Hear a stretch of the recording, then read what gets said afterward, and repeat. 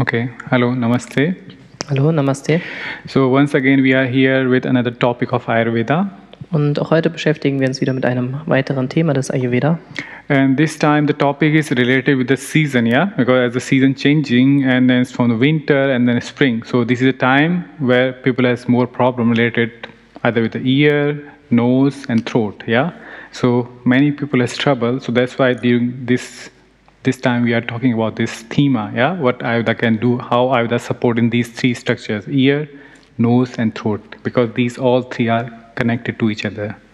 Und heute geht es darum, wie die Jahreszeit uns vielleicht beeinflusst, gerade jetzt dieser Wechsel, der so langsam stattfindet von Winter zum Frühling und gerade da dann die Ohren, die Nase und der Hals und auch diese drei, die einfach eng zusammengehören oder sich auch gegenseitig beeinflussen. Yeah. So if we see in uh, general, then we found out that in these three structure, either it's the oran, like our ears, either our nose, our throat, most of the problem in this region it happens because of the slime, yeah, the slime. Yeah, slime. In Ayurveda we say this is a uh, kapha, the kind of mucus, yeah, phlegm. Yeah. So when we have these, uh, like whether too much production of that, there can be two reasons. Yeah, too much production of these phlegm or are these slime, or the when it is obstructing the air, it is not coming outside. If it is come outside properly, okay. But when it's stuck somewhere, then it causes problem.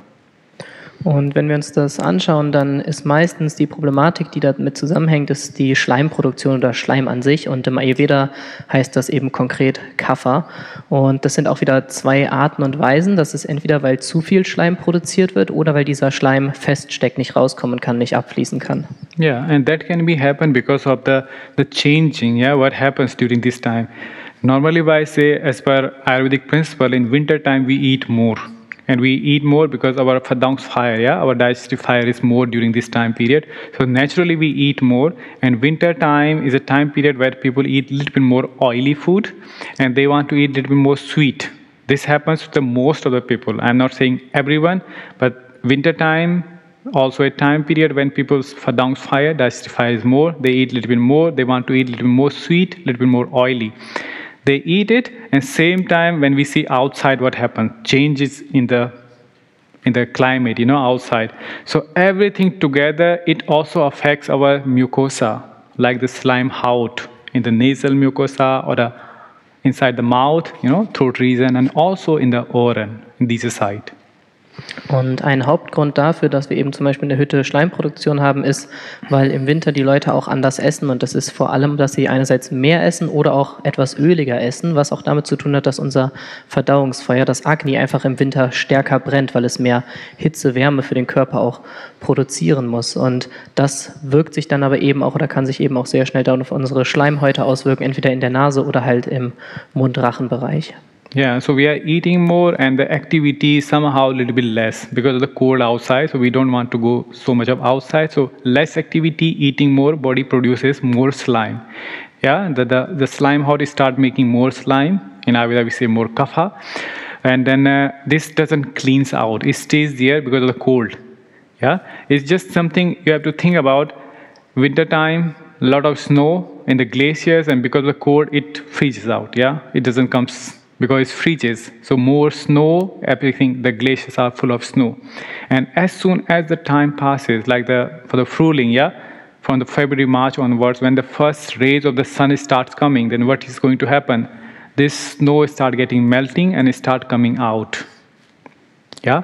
So when here also in Deutschland, also in Europe, after the winter, when the time is passing, slowly, slowly from winter is going towards a spruiling side, yeah, spring side. Little bit the sun rays starting getting more and more, and then this slime start coming, melting, and start coming out, and it start causing trouble to the people. All kinds of trouble, whatever we think about, either it's a hay fever or uh, there's a rhinitis, sinusitis, or other problems.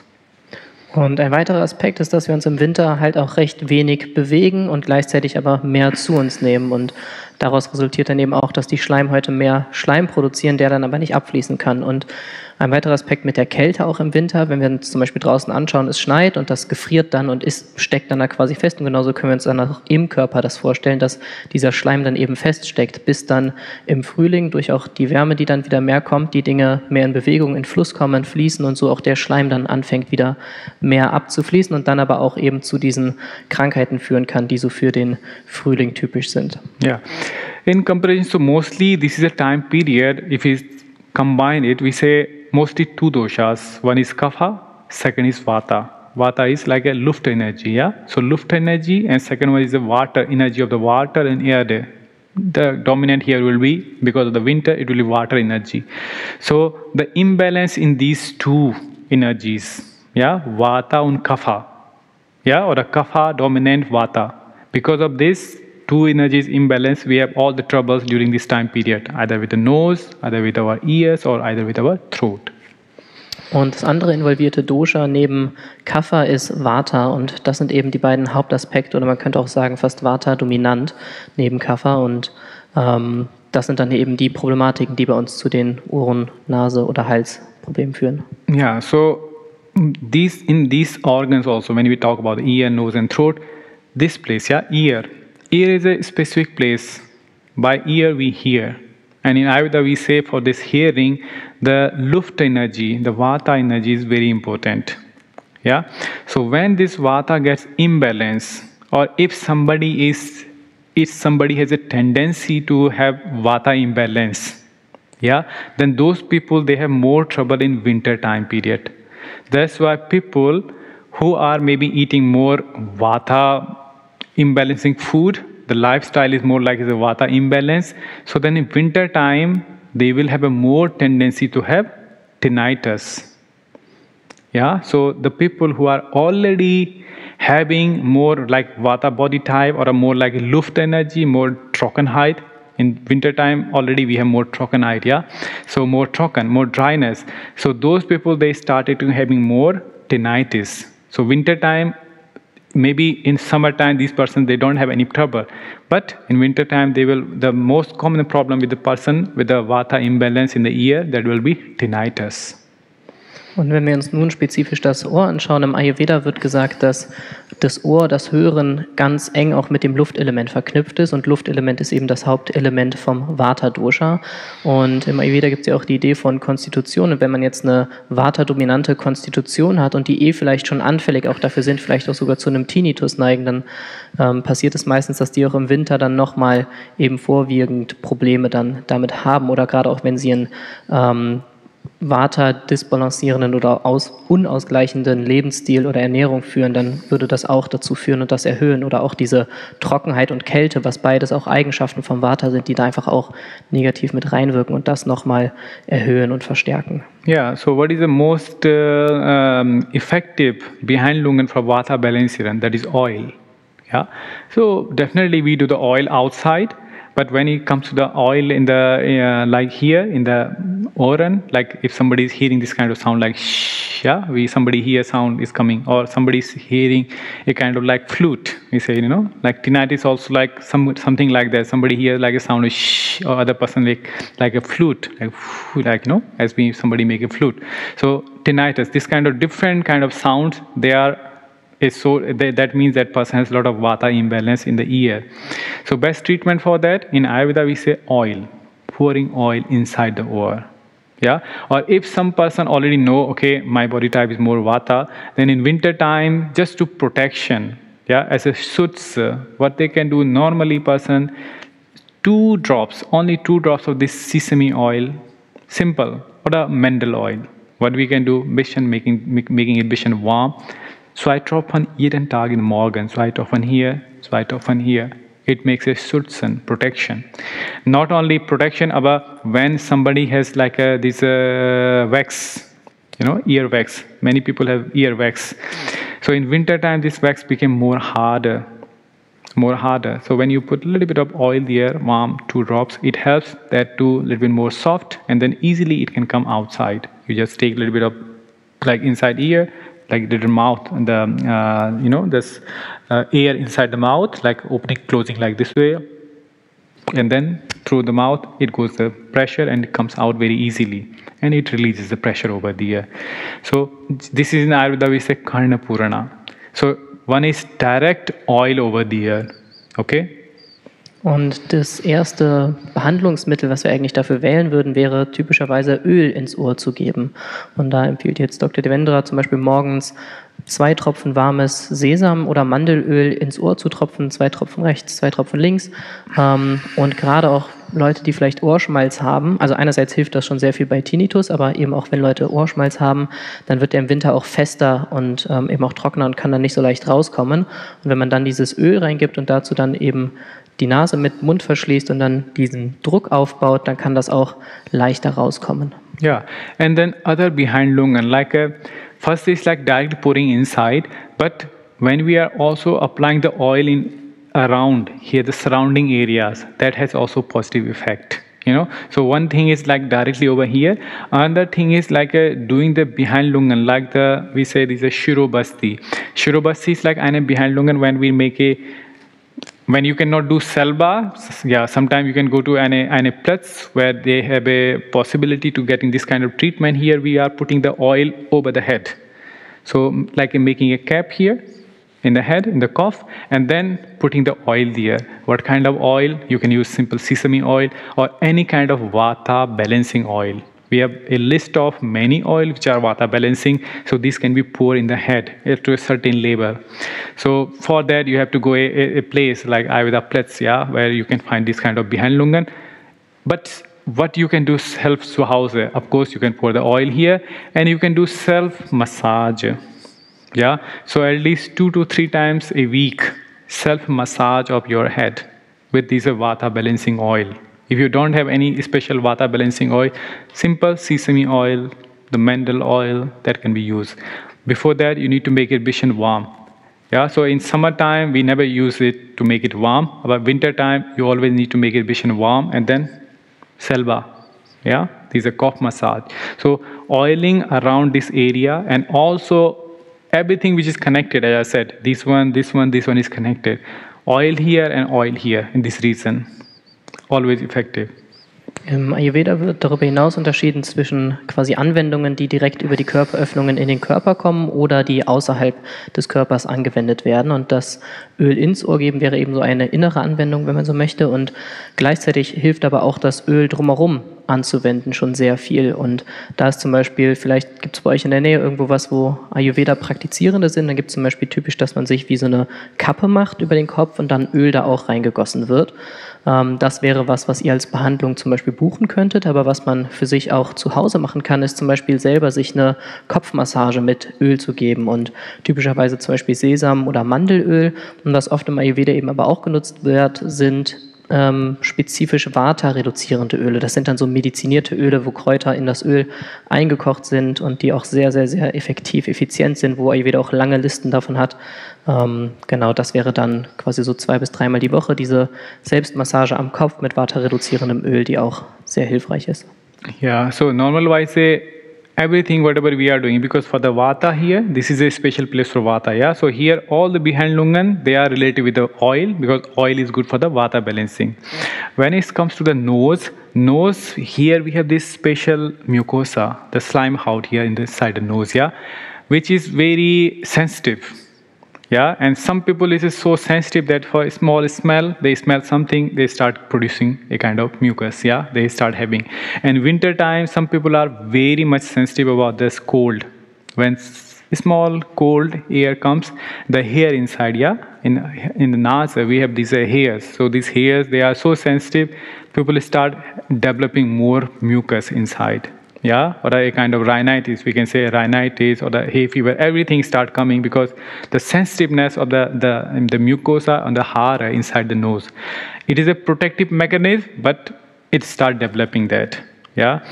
And then when it start developing, people, they don't know what to do. They keep eating these sweet things, lot of sweet. They eat more sweet, more oily things, and it start developing more and more problem to them, generating more and more mucus during this time period yeah so here in the case of nasa what we need not the oil for like just for pacifying but something to clean it because where it is more this kind of generating more uh, uh, like mucus, that needs to be clean. So for nose, uh, we have to first clean it. Yeah. Und während das Ohr eben spezifisch mit Vata in Verbindung steht und der Gegenspieler auch eigentlich generell vom Vata überhaupt Öl ist und wir deswegen da zum Beispiel Öl anwenden, ist bei der Nase so eine kleine Besonderheit, weil da einfach die Schleimhäute sitzen und die Schleimhäute sind immens sensitiv oder sehr sensibel und ähm, gerade im Winter zum Beispiel, wenn dann da diese Kälte reinkommt und durch diese kleinen Haare streift, äh, dann wird das da schon registriert wahrgenommen. Der Körper fängt an, auch als Schutzmechanismus letztendlich den Schleim zu produzieren.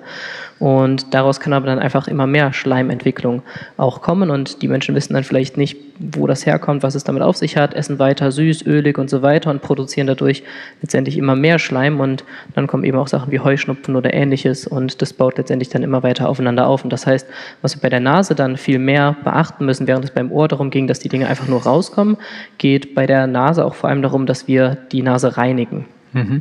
So very easy way for that is in Ayurveda we always say first snehana and then swedana. Snehana means like oleation. So it means to doing that cleaning also first we what what we do we are doing some oiling around here this region or you can do the complete this uh, gisis massage face massage yeah with any kind of oil which is in ayurveda. We have many so massage in uh, face like face massage.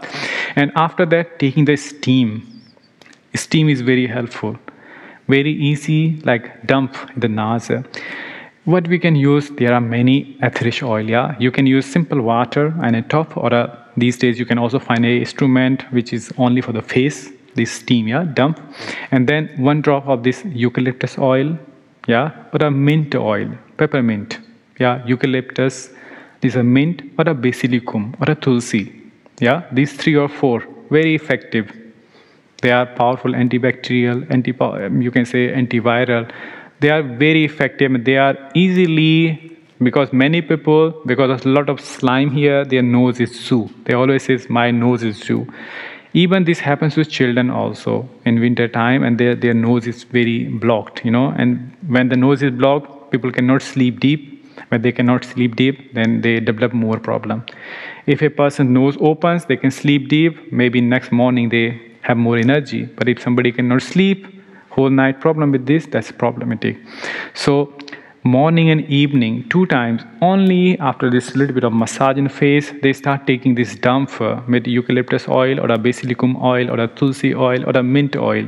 Nisofil ein Topfer or zwei Topfer in water. Yeah one to two drops putting in the water taking the steam after the massage. And just like taking deep deep einatmung like from here.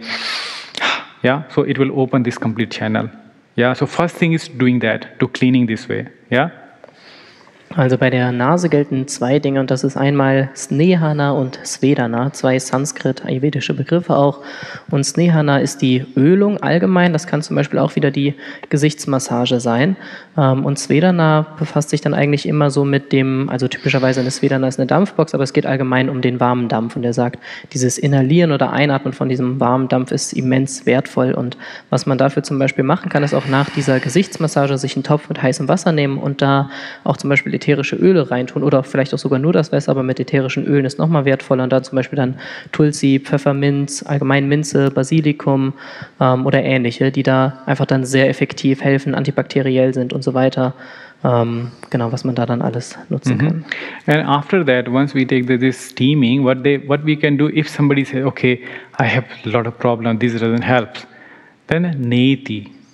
Neti, you understand? Neti is like a like Salzwasserreinigung. Yeah, so Neti is the pot. Maybe people who are interested, who knows a little bit of yoga, they know that is a special pot, or you can do also a special, it's a special kind pot which come only for the cleaning the nose. So first you do local like massage, taking the steam.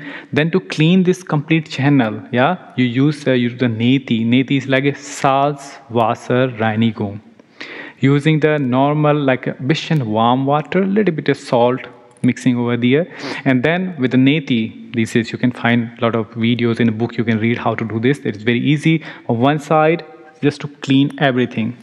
Yeah? So it complete cleanses this channel. So already we are doing snehana then swedana and then we are doing this.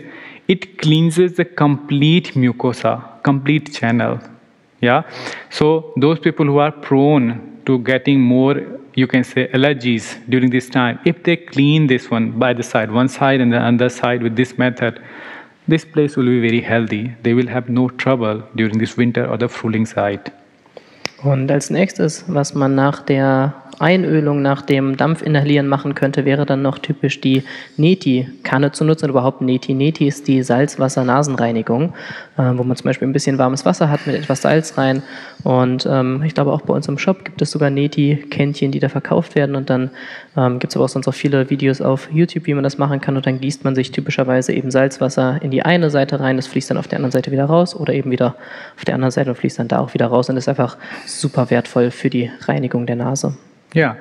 And if somebody says, okay, I did all three, but it's still not working, so it means that person really chronic problem. Also, it can be like a, we say sinusitis, yeah, Nasen-Naben-Hole syndrome or whatever disease, yeah. So sinusitis or others also other long time. Then we suggest them also start doing nashyam. Like this is all in a sequence, yeah. Oiling, dump, this uh, then Salzwasserreinigung, then a nashyam. What is nashyam? Nashyam is like a pouring this uh, oil. As we pour an oil, oil here, similarly we have many specialized oil for the nase. Ja, Kräuteröl. Aber du kannst auch, wenn du hast keine Kräuteröl, nur dieses Sesame Oil oder Kokosnuss Oil. Nur warm Sesame Oil, Kokos Oil. Wie viele? Nur zwei Tropfen. Nach dem diese Reinigung, ja? Nachher Oiling, Dampfbade und danach diese Salzwasserreinigung, dann nur zwei Topfe. Hm? From here, dann zwei Topfe hier. Ja, das ist genug.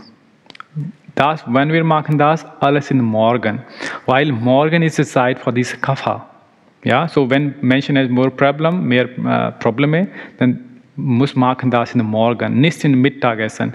So Zeit für das in den Morgen und den Abend. So morgen 6 bis 10, in Abend auch 6 bis 10. So diese zwei Zeit, wo, welche Zeit wir muss machen das. Und ähm, Falls jetzt aber jemand schon diese drei Schritte gemacht hat und das aber immer noch nicht geholfen hat und vielleicht auch sogar chronische Probleme hat, zum Beispiel Nasennebenhöhlenentzündung oder ähnliches, dann könnte man als vierten Schritt auch noch, im Ayurveda heißt es Nasya, das ist die Nasenölung, mit dazu nehmen. Und das darf man aber auch beachten, das ist quasi von der Sequenz her, von der Abfolge sind die aufeinander aufbauend. Das heißt, es wird zuerst die Gesichtsmassage gemacht, dann als nächstes wird der Dampf genutzt und dann als nächstes wird die Nasen-Salzwasserreinigung gemacht. Und dann kann man danach noch eben dieses Nasya machen, dieses Öl in die Nase geben. Und das sind aber auch nur ein bis zwei Tropfen von Sesam- oder Kokosnussöl oder eben den typischen Vata-reduzierenden Ölen. Ähm, und da dann ein bis zwei Tropfen pro Nasenloch, das einsaugen oder einziehen und dann auch zwei bis drei oder ein bis zwei Tropfen auf der anderen Seite.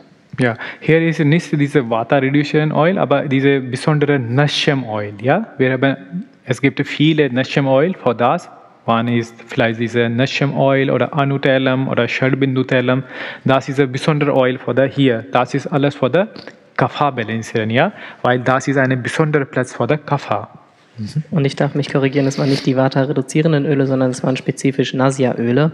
Und der Aspekt auch, das morgens zu machen, ist, weil morgens von, wir sagen so typischerweise sechs bis zehn ist Kafferzeit und abends auch von sechs bis zehn ist Kafferzeit. Mhm. Und genau deswegen wird eben da das genutzt, um den Schleim, der Kaffer zugehörig ist, um den da auszuleiten, weil das die effektivsten Zeiten sind oder beziehungsweise Kaffer da auch einfach am stärksten ausgeprägt ist. Ja, und der Gleis ist auch mit dieser throat, yeah, throat. When we say throat, the problem is throat, throat or the Hals, yeah. So viele Menschen sagen, okay, ich habe viele Probleme mit uh, dieser Throat in dieser Winterzeit oder vielleicht uh, viele Slime, ja, oder Husten viele. So was, so what is good during this time period, yeah. So here also we have to clean. Yeah, so how we clean? For that we have many kind of decoctions. We make many kind of teas for that purpose. For example, this uh, a mixture of turmeric.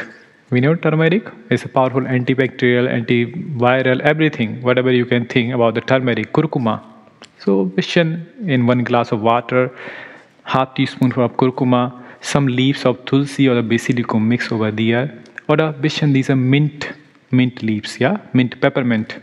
So peppermint leaves this tulsi or basilicum leaves a little bit of curcuma make a tea out of it, and then gargle. When it is warm, gurgulen, yeah, and then ausspruchen. Und für den Hals, wo es auch eben wieder sehr viele Schleimhäute gibt, da hat Ayurveda auch sehr, sehr viele Anwendungen oder eben vor allem Abkochungen oder Tees, die da genutzt werden. Was man da typischerweise nutzen kann, ist dann zum Beispiel Kurkuma, der antibakteriell, antiviral und alles Erdenkliche noch mit sich bringt, also fast ein Wunderkraut ist. Ähm, oder ansonsten auch Tulsi oder eben Basilikum und Minze, die man als Blätter mit ins Wasser geben kann. Und dann kann man das in den Mund nehmen und dann gurgeln und dann danach aber zum Beispiel auch wieder ausspucken. Yeah, this is very effective. This one tea is effective for all kinds of problems related to the moon. When we should do it? Always in the morning. Yeah. So that can be a part of our routine and during the winter time and the fruling side and the springtime. Similarly, people can also do more like is it this oil zian, yeah, like a gandusha with oil, like either with a kokos oil or a sesame oil. That can be also done. Und das alleine ist schon sehr, sehr effektiv, gerade diese Teemischung aus Kurkuma, Minze, Basilikum. Ähm, und was Menschen aber auch machen können, ist zum Beispiel ähm, Öl ziehen mit Kokosnussöl oder other Ja, Kokosöl oder Sesame Oil. Oder yeah. auch Sesamöl, was da genutzt werden kann. Yeah, so that can be that can be quite also effective. If somebody has a, uh, feel like a like a lot of problem like a lot of slime is coming from the munda uh, or, or, or also a lot of houston yeah? So then from those people we suggest okay now you should do a kunjal. Kunjal is kind of a kind of small uh, abrasion yeah? Like vomiting yeah? So that is not for all the persons that is for certain individuals yeah? So if somebody has a lot of problem then we say okay one and a half liter of warm water with fish and salt you should drink this all and then alles draußen. So das ist eine besondere Behandlung. Aber diese besondere, when we are doing all but still not helping, then this kunjal. But that is also sehr uh, effective Behandlungen, diese kunjal. Dann gibt es auch eine weitere, eher medizinisch spezifische Behandlung, die heißt Kunjal, die im Ayurveda dann aber auch wirklich nur für Menschen angewendet wird, die halt besonders viel Schleim haben oder bei denen man das anwenden würde aus einer medizinischen Betrachtungsweise. Und das ist so ein therapeutisches Erbrechen, wo man zum Beispiel einen halben Liter warmes Wasser dann zu sich nimmt, wo Salz drin ist und das dann eben wieder erbricht und dadurch auch im Ayurveda dann gesehen sehr viel Schleim dann, oder nicht im Ayurveda gesehen, allgemein dann einfach sehr viel Schleim aus dem Körper auch wieder rauskommt. Yeah, so normalerweise, when what we have to understand that diese Nase, diese Hals und diese Ohren, yeah, these ear, these all three are connected, interconnected to this. So if somebody has problem here, so it is possible that that person can has also trouble over here. And it is also possible from here it can reach over here. It can also possibly somebody's problem here from here it can reach here and then from here it can reach to here. So these are all connected. So what is yeah these all are connected. So what is good? That we keep our mouth cavity very clean with this kind of gargle which I said, yeah, gargle or the gandusha, and also keep doing this uh, Reinigung, from these uh, these parts yeah? And also when it is more dry weather yeah more luft more windy weather then applying some oil here. So then the mucosa of the ear the nose and mund everything is clean sauberer yeah? Then we can have we can stay healthy during this winter and during the springtime also Also worüber wir uns einfach im Klaren sein müssen, ist, dass Ohren, Nase und Hals, dass diese drei sehr eng zusammengehören. Ich meine, es ist auch kein Wunder, dass wir den Hals-, Nasen-, Ohrenarzt eben ja typischerweise haben. Und vor allem gilt es da eben auch zu reinigen und sowohl den Hals zum Beispiel über das ähm, Gurgeln von diesem von dieser Mischung, die er vorhin genannt hatte, oder eben vor allem auch die Nase frei zu halten, reinzuhalten von diesen, ähm, von der Schleim oder mit eben diesen Anwendungen, die er vorher genannt hat. Und ähm, es kann zum Beispiel eben auch sein, dass im Hals sich etwas ansammelt und dann auf die Nase ausstrahlt und dann rüber aufs Ohr auch wandert und das dann beeinflusst oder in der Nase beginnt, auf den Hals ausstrahlt, dann aufs Ohr. Ähm, also dass je nachdem, wenn wir zum Beispiel ein Ohrproblem haben, das eigentlich ursprünglich in der Nase angefangen hat und deswegen eben auch alle diese Behandlungstipps, die er da gegeben hat, sowieso bei diesen drei Aspekten immer gut helfen können. Mm -hmm. So this is about it. Now we are open for questions. So those people who are looking us over there, you can write your question in chat. And those people who are sitting over here, if you have any questions, you can ask me now. Also falls ihr irgendwelche Fragen habt, dann könnt ihr gerne jetzt mm -hmm. damit ankommen. Okay. Mm-hmm. Yeah. Mm-hmm. So it's when it is dry nose, then you do not need to go for. But do you have the close? Your nose is closed. Zoo? It is zoo? No. If it is just dry, then only oil is enough for you. Then you do not need to go for this uh, dump for andras. Only oil, like uh, only two drops of simple coconut oil or a sesame oil. That is ganuk. You can just apply there, yeah, with either a dropper or with an, a cotton. You can just apply inside. That is ganuk. Daily in the morning and the evening two times. Just applying over there. That is ganuk. Und hier war jetzt die Frage, was mit eben einer nur trockenen Nase passiert, worauf Dr. Devendra gefragt hat, ob die Nase denn noch zu ist. Und dann war die Antwort, dass nur die Nase trocken ist. Und da würde man dann zum Beispiel nur das Nasia machen, nur das, diese ein bis zwei Oil. Öltropfen in die Nase geben. Das ist genug. Any other questions here? Okay, good. So I hope you people understand uh, this concept of Ayurveda regarding how Ayurveda can support in our ear, nose, and throat. So, and it will help you to remain more healthy and then more happy during this winter and fruling. So, I wish a healthy winter and the springtime to all of you here and those people who are looking us or watching us online. So, see you next time with another topic of Ayurveda. Since then, namaste. Ja, schön, dass ihr da wart und er hofft, dass diese Tipps euch dazu helfen, dass ihr mehr in Gesundheit leben könnt und ein glückliches, gesundes Winterzeit, Frühlingszeit für euch verbringen könnt. Und in dem Sinne, bis zum nächsten Mal. Namaste an euch hier und an die online. Dankeschön.